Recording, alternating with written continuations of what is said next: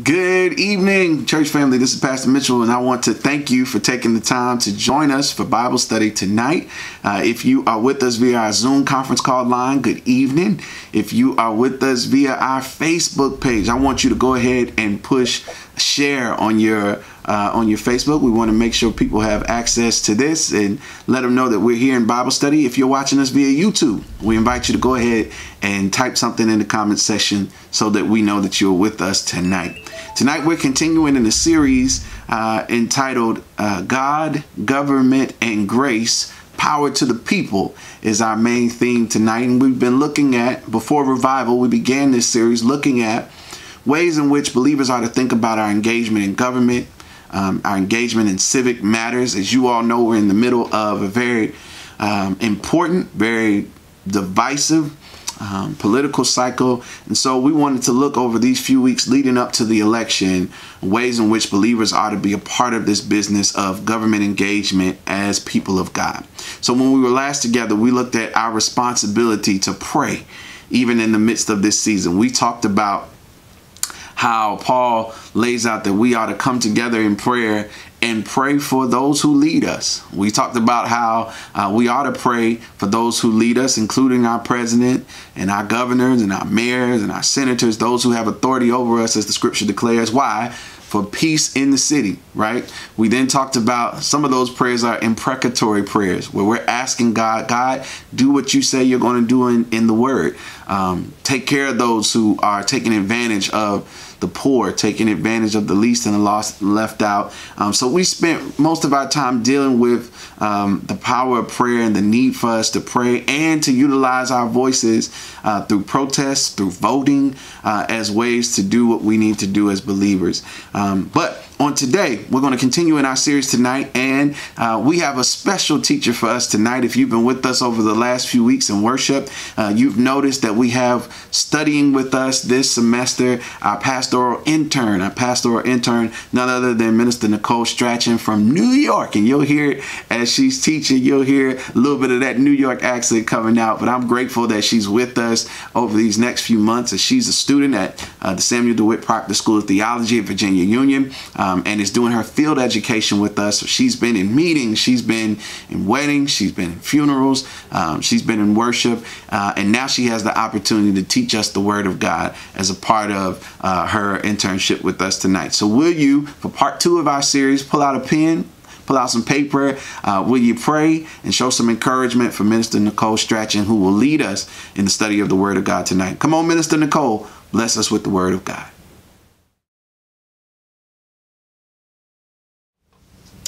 Good evening, and thank you for joining us for our Bible study tonight as we continue in the series Power to the People God, Government, and Grace. My theme for tonight is decisions, decisions, decisions. Let's start with an icebreaker. Have you ever played the game Would You Rather? It's a question based game uh, that gives really good questions and it gives you two choices. You have to pick the lesser, typically, of two evils. So, for example, would you rather live a short life and be rich or have a long life and be poor? Questions like that that kind of make you feel like you wouldn't want to make a, a decision at all. Hasn't 2020 felt kind of like a game of would you rather? Would you rather be at quarantine at home with your kids 24 7? Or brave going back into the office, masked up and socially distanced. All right. Sometimes 2020 has felt like a game of would you rather. But this year has brought very serious decisions, life and death decisions, and as the political climate gets more and more weird, we are faced with very tough decisions. Some are so overwhelmed that they have decided to tap out and some of us are feeling like the best thing to do when faced with uncertainty and difficulties is to not make a decision at all.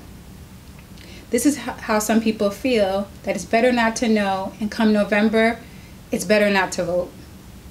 Now, I can completely understand that feeling, but tonight I want to go through scripture and raise a biblical story and some books that help us to see that as Christians we ought to make decisions, no matter how tough they may be. First, I'll start with a disclaimer. You know, the Bible, particularly the Old Testament, can be a little messy, and though the biblical story we're about to delve into offers much wisdom, I don't want to take the content of the story lightly.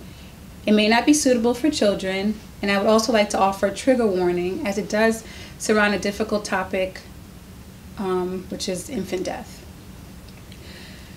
So I first heard this story as a little girl, and I have thought about it from many perspectives over the years, and I thought it was a good lens to look at it for our Bible series theme, Power to the People.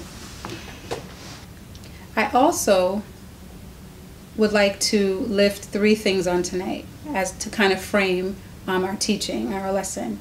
First, the idea is that we are equipped to make decisions when we ask God for wisdom. Second, we are equipped to make decisions by our God given emotions in the right context. And then third, we as Christians are called to make decisions as ethical mentors. And that's a phrase that's coined by uh, Reverend Dr. William Curtis in his book Mentorship that is so fitting for this time. Okay, so let's start uh, with 1 Kings 3 uh, 16 through 28. So that's 1 Kings chapter 3, verses 16 through 28. And I'm reading from the New Living Translation. It's a little long, but I'm going somewhere with it, I promise. Sometime later, two prostitutes, or harlots, came to the king to have an argument settled. Please, my lord, one of them began, this woman and I live in the same house. I gave birth to a baby while she was with me in the house. Three days later, this woman also had a baby. We were alone. There were only two of us in the house. But her baby died during the night when she rolled over on it. Then she got up in the night and took my son from beside me while I was asleep. She laid her dead child in my arms and took mine to sleep beside her. And in the morning, when I tried to nurse my son, he was dead. But when I looked more closely in the morning light, I saw that it wasn't my son at all. Then the other woman interrupted. It certainly was your son, and the living child is mine. No, the first woman said, the living child is mine, and the dead one is yours. And so they argued back and forth before the king. Then the king said, Let's get the facts straight. Both of you claim the living child is yours, and each says the dead one belongs to the other. All right, bring me a sword. So a sword was brought to the king. Then he said, Cut the living child in two, and give half to one woman and half to the other. Then the woman who was the real mother of the living child and who loved him very much cried out, Oh no, my lord, give her the child, please do not kill him. But the other woman said, All right, he will be neither yours nor mine, divide him between us. Then the king said, Do not kill that child, but give him to the woman who wants him to live, for she is his mother. And the last verse When all Israel heard the king's decision, the people were in awe of the king, for they saw the wisdom God had given him for rendering justice. Now, a pretty strange story for sure, but just to give you some background, Solomon had become a king as a very young man. He was probably less than 20 years old. And if you go earlier to the in the chapter to around verse 7, uh, Solomon has a dream where he's talking with God and he tells him like listen god i'm i'm young. I don't know the ropes. I'm not sure how to to be a king. I'm not sure how to govern people. I'm not sure how to have a government and rule over people and make decisions. So he asks god for wisdom. And god is so impressed by this he grants it. And of course not even a few verses later he's given an opportunity to exercise that wisdom so sometimes you have to be careful what you ask for so when I think about the setting and the scene, I envision a courtroom where in come these two women who we learn are prostitutes or harlots. Now, actually, it's interesting to note that at this time, it's not really illegal to be a prostitute, and that also sometimes prostitutes were slaves. So it's important to highlight that their societal standing and titles um, are probably pretty low or not well regarded, but Sol- that doesn't distract Solomon from the business at hand. Justice has to be served.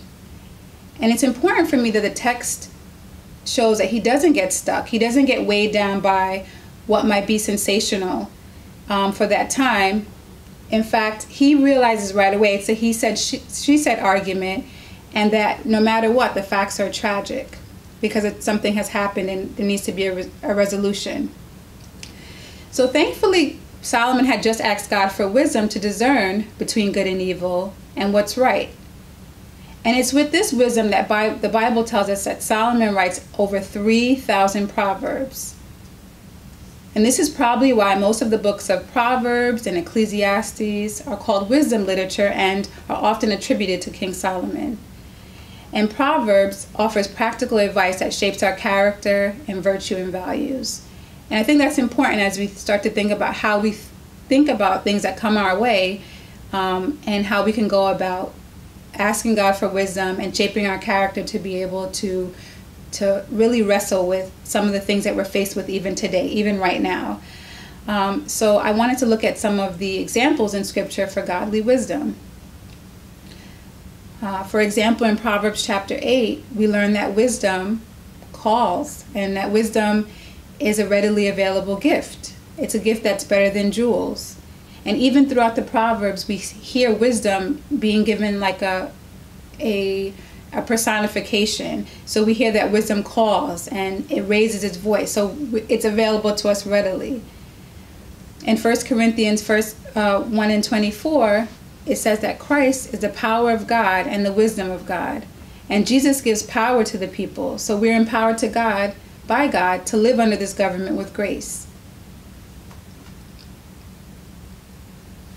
And in 1 Corinthians 2 and 6, we learn that we speak wisdom, though it's not a wisdom of this age or of the rulers of this age who are doomed to perish, but we speak God's wisdom, secret and hidden, which God decreed, decreed, decreed before the ages of our glory. We need to pray and study and gain wisdom to make it through and to face decisions.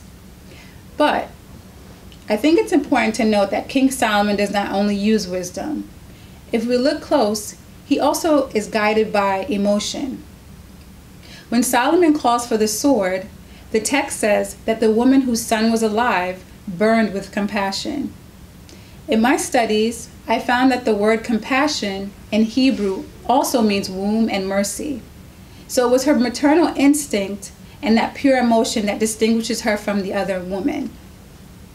Now, to talk about emotions is tricky, but it's an unavoidable part of our human experience. And of course, things that we see every day move us to feel anger, we can feel rage, we can feel uh, solemn, we can feel despair, we can feel joy, excitement. But this story shows me that when we have wisdom and we balance it with emotion, we can kind of make difficult decisions. So, pretty much when we are led by godly wisdom and have an understanding of what is in front of us, and then also pay attention to the way that something makes us feel, we can kind of use those two things to balance each other to go forth and make a decision.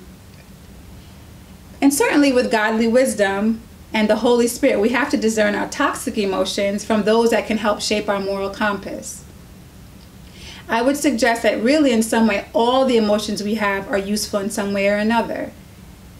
And I, I want to lift another book that you can definitely take a look at, or some other books of the Bible that you can look at to find more on those topics, because I think they're not often as raised, but they're very, very helpful to help us to understand the full span of our emotions, especially in a very emotional time as this.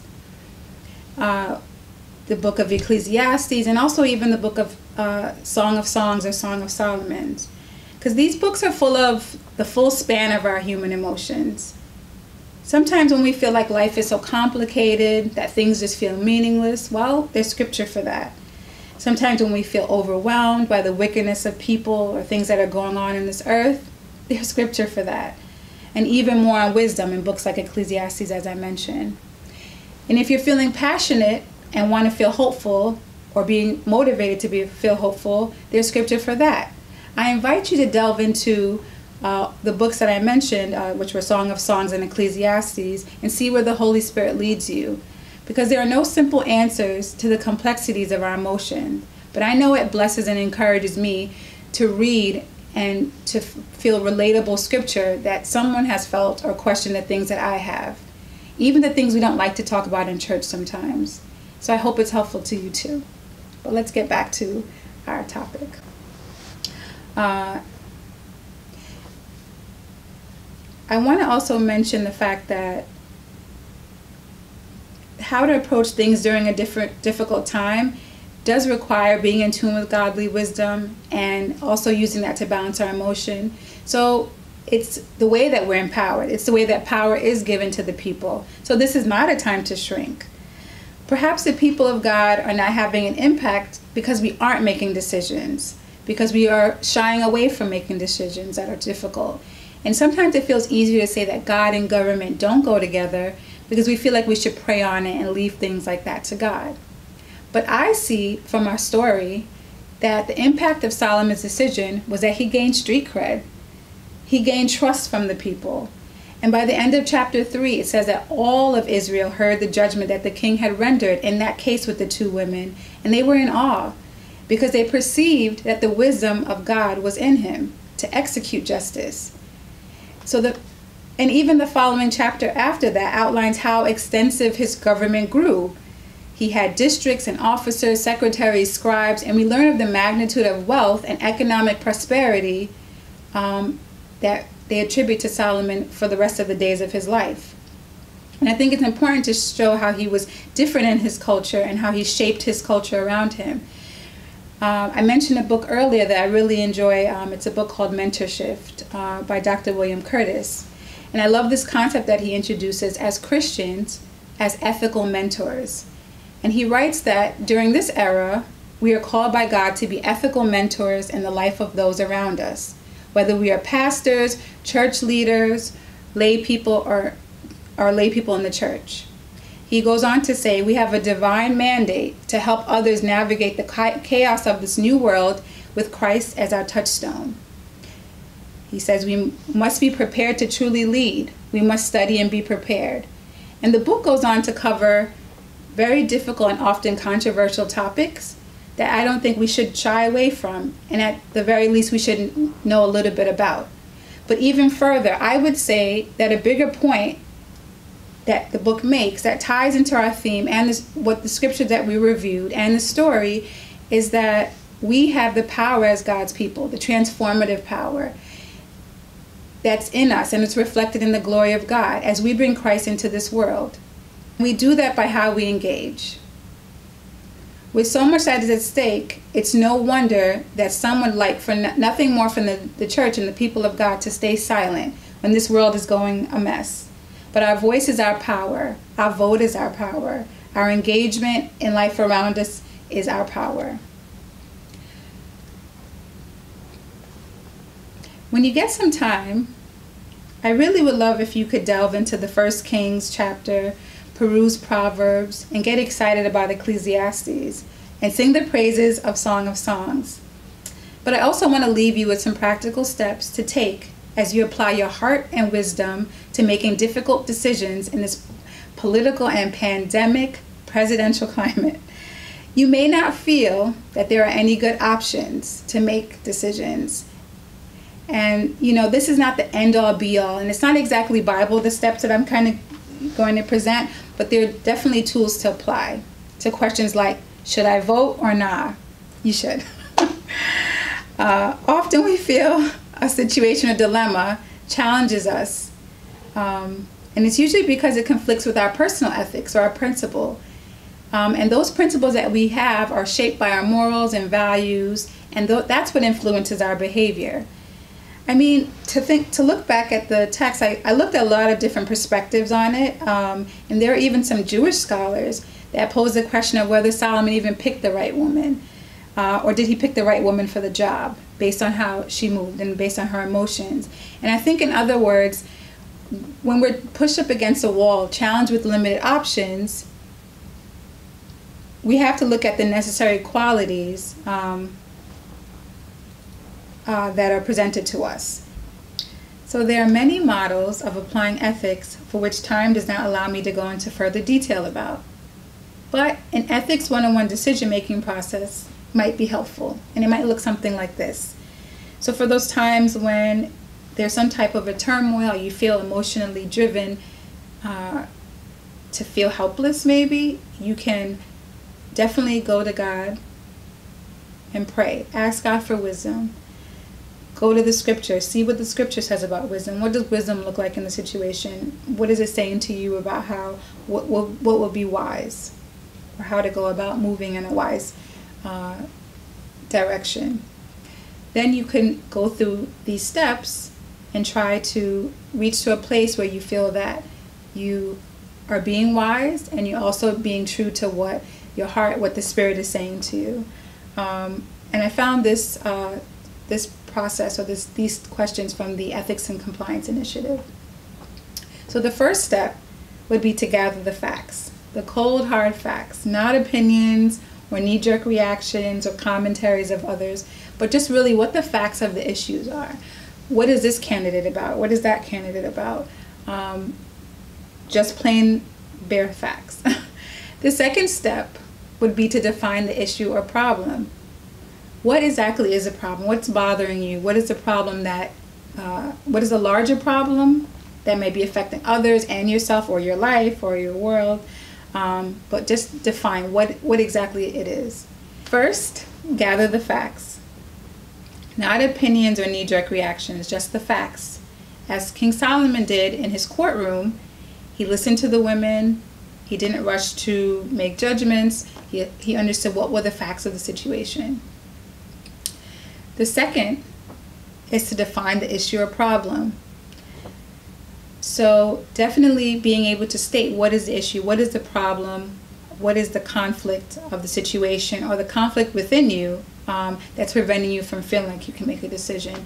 And I think in for King Solomon, definitely uh, he knew that the problem was there was one living baby and that baby needed to to have a mother and to have someone care and there were many implications about that decision too um, that made that a grave decision and so looking at really all the factors and who's involved so for king solomon he was not just weighing who the mother of the child was but also the woman who got the child also would have a little bit more of a better place in society a more economically stable one um, given the fact that she had a child. So he had a lot of things at stake when he made that decision, but he got right to what was at stake and what he needed to uh, solve.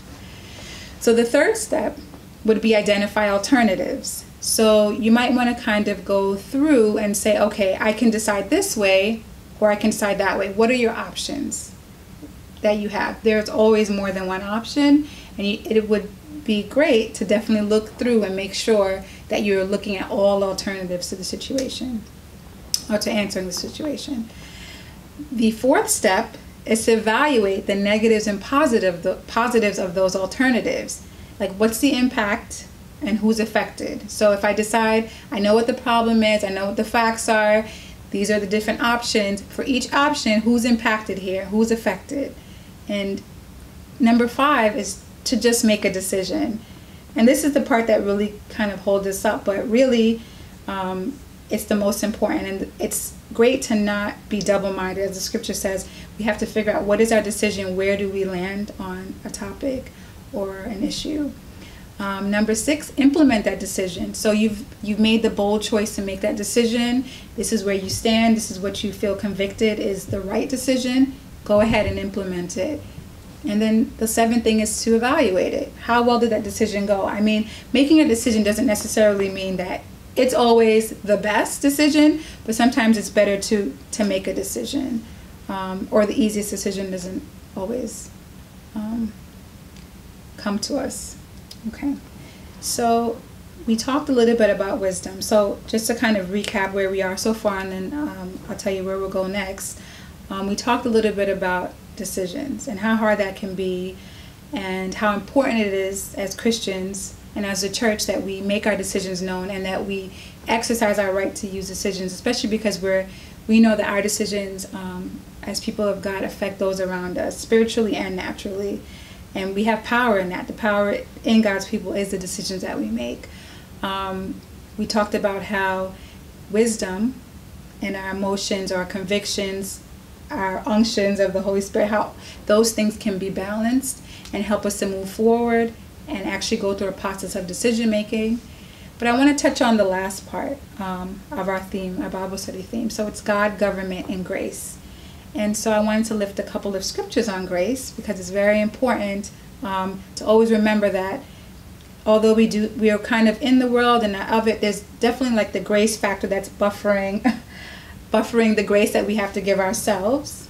Because like I said before, we may not always make the best decisions, um, but we try to. We we are prayerful about them, but also the grace that we give to others, like our leaders and even our adversaries, and also and most importantly, the grace from God. So those women that presented to Solomon, they definitely received a lot of grace because by many means um, they may not have been treated with the best regard based on their social standing, but they got the grace um, to be able to approach Solomon with this case. And some have some have posed the question that perhaps they had went to other courtrooms and not had their case heard um, or understood, and it had reached to that high level of um, being seen by being heard by the king. And so I think that's definitely a, a point about grace in that you know in that uh, in that moment. So I wanted to leave you with a few scriptures on grace. First, um, I'd like to lift 2 Timothy 2 uh, and 1 uh, that tells us where our grace comes from. It says, You then, my son or daughter, be strong in the grace that is in Jesus Christ Jesus. The second scripture I'd like to raise is John chapter 1, uh, verse 17. It says, For the law was given through Moses, but grace and truth came through Jesus Christ. So I'd like to raise 2 Corinthians uh, 9 and 8. And God is able to bless you abundantly, so that in all things and at all times, even times such as this, it's my addition, having all that you need, you will abound in every good work. And lastly, Titus chapter 2, verses 11 through 14. For the grace of God has appeared that offers salvation to all people. It teaches us to say no to ungodliness and worldly passions and to live self controlled, upright, and godly lives in this present age, while we wait for the blessed hope, the appearing of the glory of our great God and Savior, Jesus Christ, who gave himself for us to redeem us from all wickedness and to purify for himself a people that are his very own, eager to do what is good. So, people of God, I beseech you to go forth with all power, to be decisive in all things and in all ways. Grace and peace, family. Good night.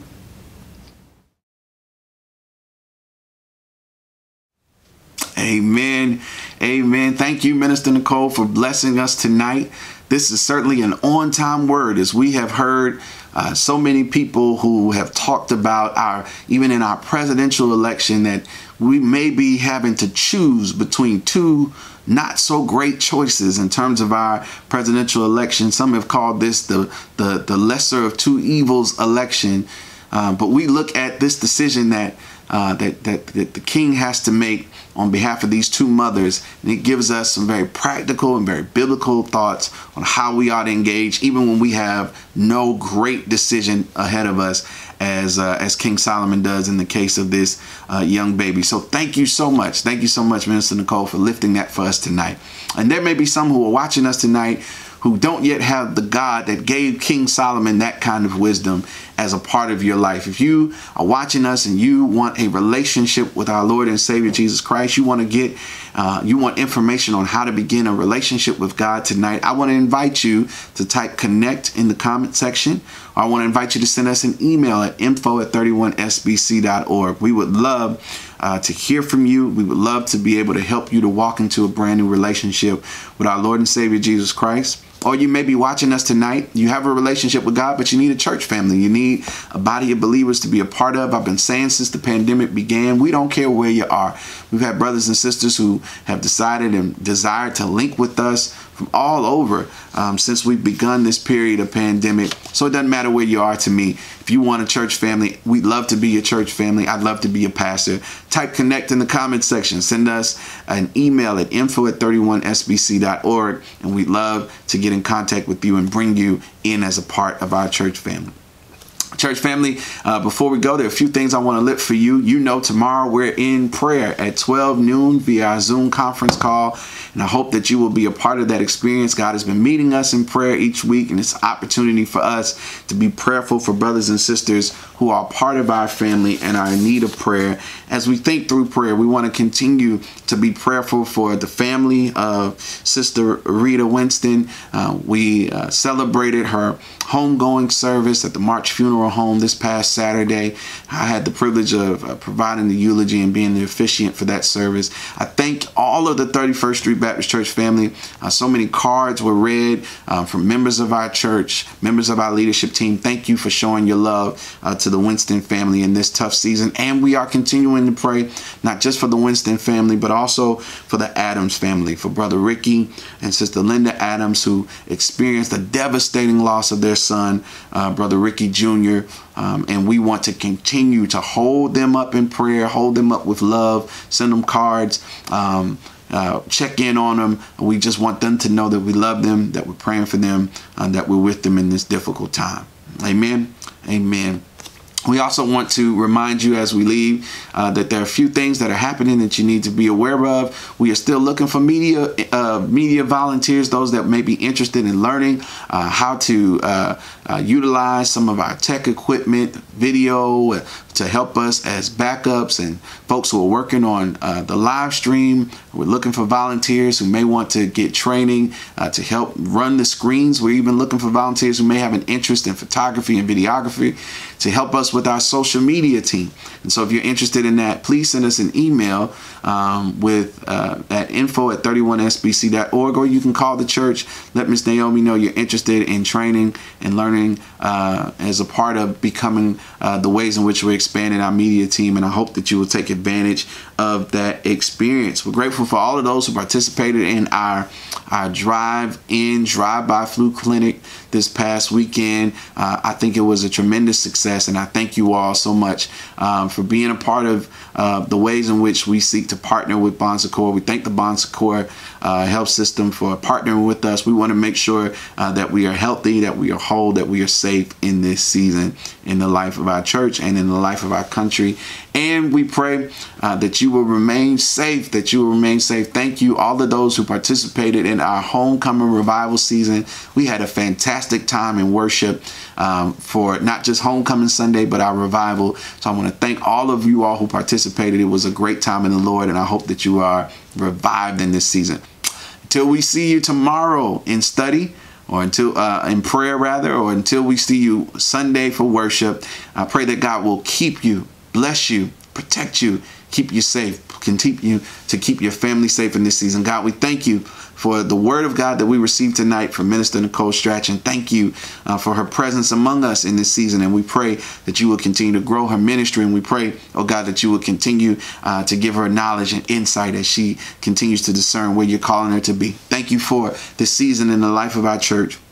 We pray now that you would continue uh, to hold together all of our families, oh God, all of those who are represented on this line and that are part of our family, oh God, those who are dealing with bereavement, we pray, oh God, that you would be an anchor for their souls and their spirits. We pray for those who are sick, that you would help to make them well, oh God. We pray for our church and we pray that you would help us to continue to be a great witness on this corner uh, for your kingdom and for your people. Now, bless us as we leave this time. Keep us safe until we're able to worship, to study, to pray one with another. We love you and we praise you. We ask these things in Jesus' name. Amen. God bless your family. I love you. We'll see you tomorrow at prayer at 12 noon. We'll see you in worship on Sunday at 1030. God bless you, fam.